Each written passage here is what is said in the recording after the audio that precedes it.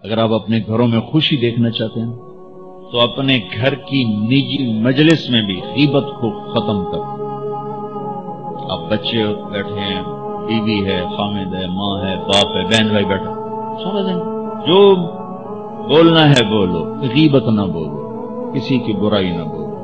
کسی کی برائی مت سنو، کسی کی برائی مت بولو۔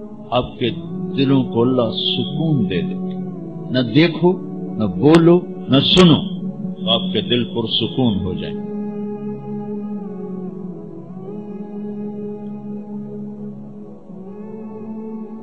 جو چیز مارکیٹ میں کم ہوتی، اس کا ریٹ بڑھ جاتا۔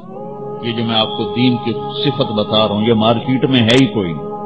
پھر کے بتا دوں، دنیا پھر کے بتا دوں۔ مارکیٹ میں یہ سودا کوئی نہیں۔ آپ لے لیں، میں لے لوں، یہ مستورات لے لیں۔ قیمت اللہ بڑی لگا بڑی قیمت ہے۔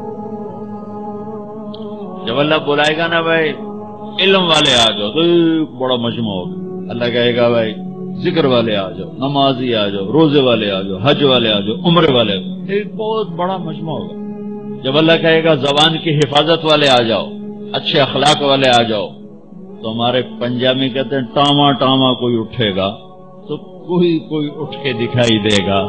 پھر ان کو جو پروٹوکول ملے گا نا، وہ نہ کسی تحجد گزار کو ملے گا، نہ کسی عبادت گزار کو ملے گا۔ ان کی نبیوں کے بعد ان کی شان ہوگی۔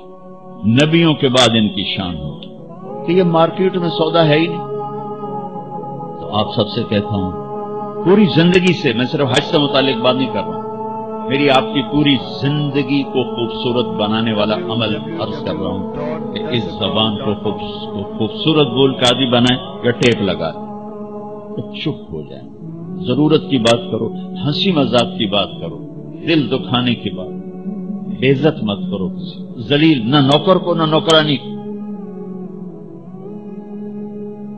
کہ ہمارا سارا معاشرہ ہائپر ہے۔ ذرا سے بہت ٹھو ٹھو ٹھو